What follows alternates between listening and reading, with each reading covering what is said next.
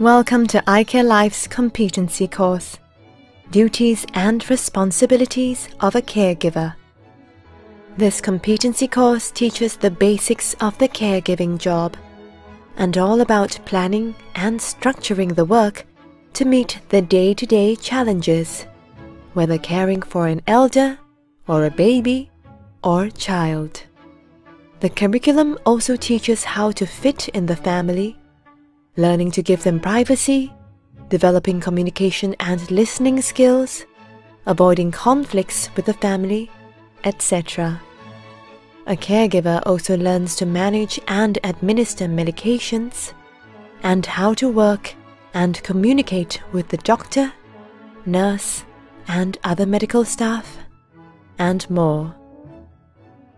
Subdivided into two nano courses, this comprehensive competency course has a total runtime of a little over one and a half hours. The nano courses that are covered under this competency include Role of a caregiver for an elder and Planning and working with the family. You may view the contents as many times as you like during your membership period. After you acquire the theoretical knowledge, you may take a self assessment test. You will be allowed to take three tests during your membership period. While you may take this course for competency on duties and responsibilities of a caregiver, we recommend you get a certificate for the full course.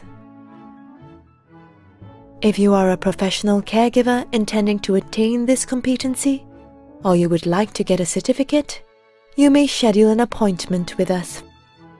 Please remember that iCare certification will require the minimum qualification grade in the theory assessment test.